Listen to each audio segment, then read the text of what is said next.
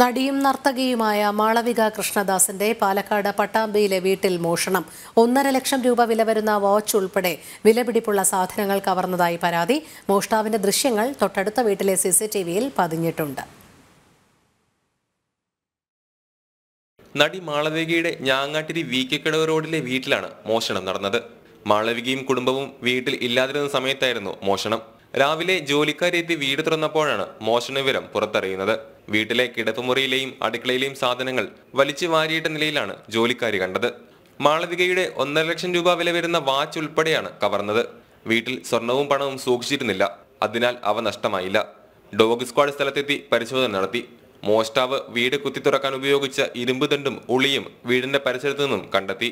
ഉപേക്ഷിച്ച ഇരുമ്പ് ദണ്ട് സമീപത്തെ ഹോളോ ബ്രിക്സ് കടയിൽ നിന്നും മോഷ്ടിച്ചതാണെന്നാണ് വിവരം. മോഷ്ടാവിന്റെ ദൃശ്യങ്ങൾ തൊട്ടടുത്ത വീട്ടിലെ സി സി ടി പതിഞ്ഞതിനാൽ ഇത് കേന്ദ്രീകരിച്ചാണ് പോലീസ് അന്വേഷണം നടത്തുന്നത്. ജനം പാലക്കാട്.